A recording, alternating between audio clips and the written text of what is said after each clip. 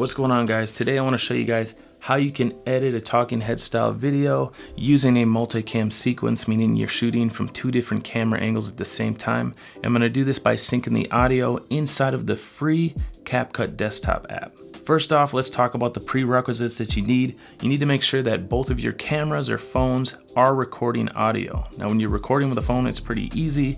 Typically, it will record audio as well, but when you're recording with a camera, you wanna make sure that you have high quality audio coming to your main camera. What I like to use is I like to use these Rode Wireless Go's. These are the Rode Wireless Go 2s. They also have the Pros out now. And what I do is I go ahead and I put one of them on my camera and then I have the receiver and the receiver usually gets clipped on my collar like this and it's basically like a wireless lavalier mic and this is where I pick up my main audio. The reason why you want to make sure that you have audio going to both of your cameras or all three of your cameras or however many cameras and phones you have set up is you want the software to be able to go ahead and see those spikes in the audio waveform and be able to sync the audio together because once it's syncing the audio it will go ahead and sync the video along with it. Secondly, now that you have audio set up on all of your different camera angles, you want to make sure that you make a loud noise a lot of times people will do a clap like that. And what that's gonna do is it's gonna cause a spike in the audio waveform and it's gonna make it a lot easier for the software to sync the audio. And let's just say the software has a hard time syncing the audio. You can always go in there manually and sync the audio yourself because you can also visually see that spike in the audio waveform. Now that we got that out of the way, why don't I jump into CapCut, show you guys how to edit these, and then I will show you the completed video once we're done. Okay, so I have my footage loaded into the CapCut desktop app. The first thing I'm gonna do is I'm gonna go ahead and I'm gonna drop both of my clips down onto the timeline. Now that I have these down onto the timelines, these clips are different lengths. You know, you're gonna set up one phone or camera, you're gonna turn it on, you're gonna set up the second phone or camera, you're gonna turn that on, and they are going to be different lengths based on um, you know, the duration of time that you had the actual camera recording for. So now that I have them here on my timeline, what I want to do is I want to go ahead and highlight both of them. I'm to right click and then I'm going to go down here to where it says sync video to sound. As you can see here, literally took just a few seconds and it was able to sync these videos. So let's just go ahead and move the playhead here and play it back and just make sure that the video is synced. So does that hold true when buying a home?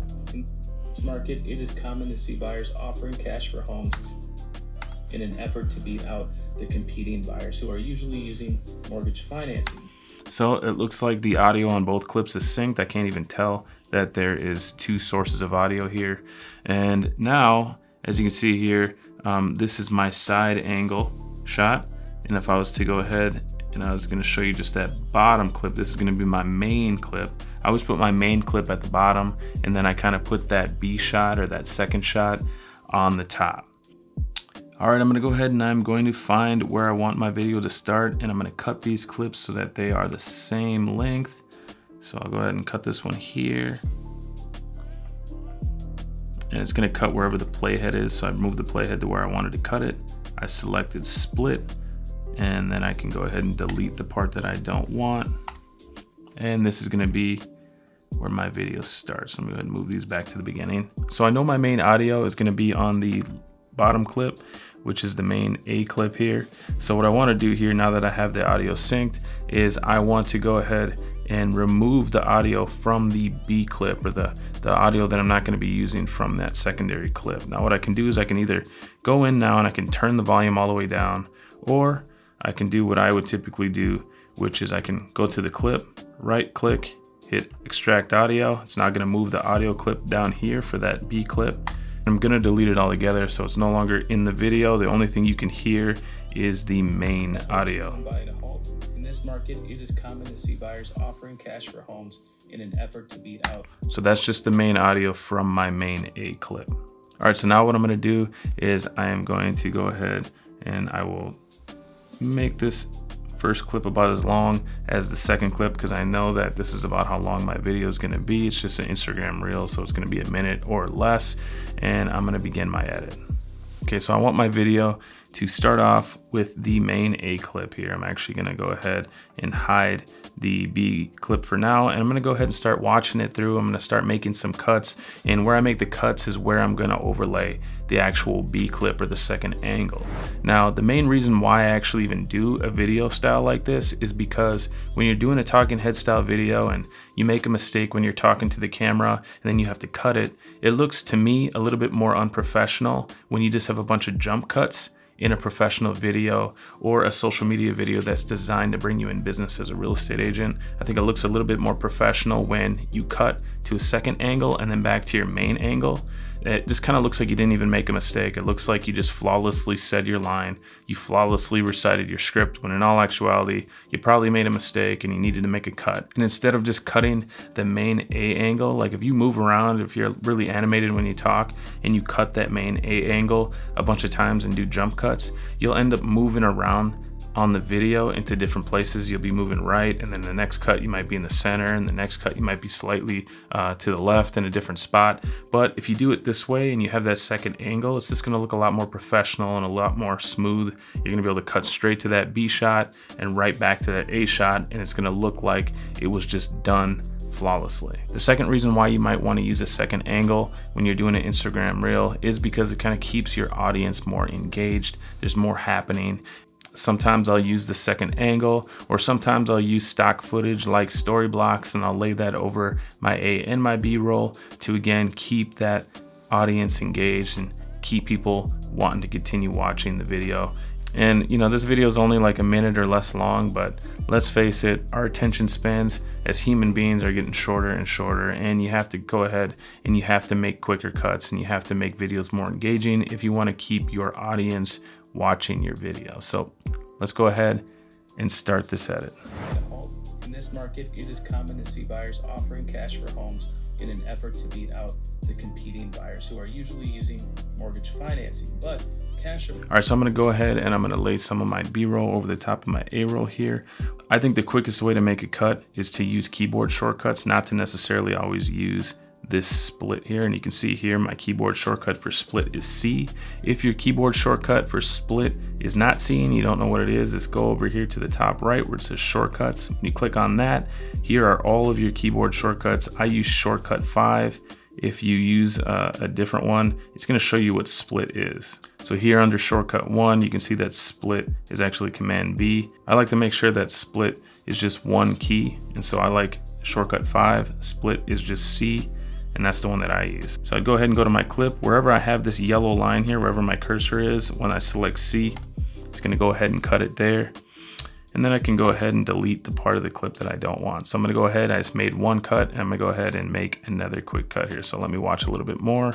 Mortgage, isn't it all the same to the seller? All right, so I'm gonna go ahead and I'm gonna select C here with that clip selected. And now this little clip right here is going to be my B-roll that it cuts to as I'm talking. See? So now I'll just make a couple more of these. Here are the major advantages of buying a home with cash. Number one, there's no financing contingency, so the seller doesn't have to worry about the financing falling apart prior to the closing. Number two, okay, so right where I say number two, I'll probably go ahead and make another quick cut. Prior to the closing. All right, so with the clip selected, I'll select C. A buyer can close much sooner since there's no need for mortgage processing. A typical mortgage takes 30 to 45 days to close, whereas cash deals will usually close in 7 to 10 days. Okay, so right there where I say a typical mortgage, I think I'm gonna go ahead and make another quick cut. And I'll probably do like one more of these. You know, you just gotta play around with it. So I'm gonna scrub this timeline. You can see here, the video cuts from my main shot to my B shot, from my main shot to my B shot, from my main shot to my B shot. And I know some people, they like their B shot to be like black and white. So some people will do that. So if I was to go into adjustments over here, and then I was gonna drop the saturation, I can make it so that my B shot turns black and white. Financing, but cash or mortgage, isn't it all the same to the seller? Again, it's just about mixing it up to keep your audience engaged with the video. Other things I'll put into my videos is I'll always add captions. Sometimes I'll do overlays, like I'll make it like in, for instance, in this video, I can make it so potentially cash is falling across the front of the screen. And I usually will get those off of Storyblocks as well, along with all the stock footage. You know, sometimes I'll overlay it with stock footage and I can pick some trending audio from here. And of course we can add audio to the video. Again, we just wanna make a quick Instagram reel, informational for our clients. These are videos you can make really quick. Sometimes I make five to 10 of them at once. I just keep doing wardrobe changes. I sit down and I just knock a bunch of these out back to back. Then I just come in here, edit them out really quick, export them, and then I can go ahead and schedule these to come out on specific days throughout the week. I'm gonna go ahead and mess around with this a little bit more, but here's the finished video. Now, we've all heard the expression cash is king. So, does that hold true when buying a home? In this market, it is common to see buyers offering cash for homes in an effort to beat out the competing buyers who are usually using mortgage financing. But cash or mortgage, isn't it all the same to the seller? Here are the major advantages of buying a home with cash. Number one, there's no financing contingency, so the seller doesn't have to worry about the financing falling apart prior to the closing. Number two, a buyer can close much sooner since there's no need for mortgage processing. A typical mortgage takes 30 to 45 days to close, whereas cash deals will usually close in 7 to 10 days. Number three, there's no appraisal contingency, so the seller doesn't have to worry about having to renegotiate their price in the case an appraisal is low.